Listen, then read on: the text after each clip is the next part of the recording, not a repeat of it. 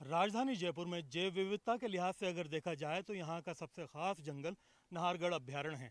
लेकिन वन विभाग के आला अधिकारियों की निगाह करम इस जंगल के ऊपर हो ही नहीं रही है। पिछले एक लंबे इंतज़ार से नाहरगढ़ का एक खूबसूरत जंगल इंतज़ार कर रहा है कि कब यहाँ पर जंगल सफारी शुरू होगी।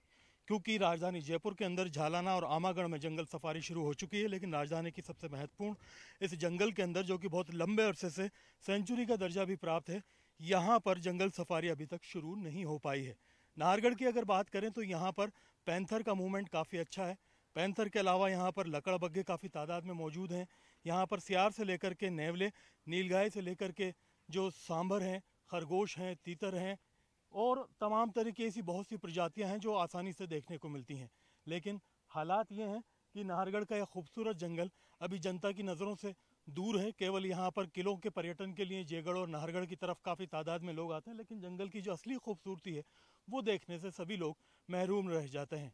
ऐसे में देखना ये होगा कि आखिरकार वन विभाग कब तक नाहरगढ़ के अंदर जंगल सफारी शुरू करता है और ये जंगल लोगों की निगाहों के सामने आता है। कैमरा पर्सन यासीन के साथ में अरबाज अहमद, न्यूज़ एटीन के लिए जयपुर से।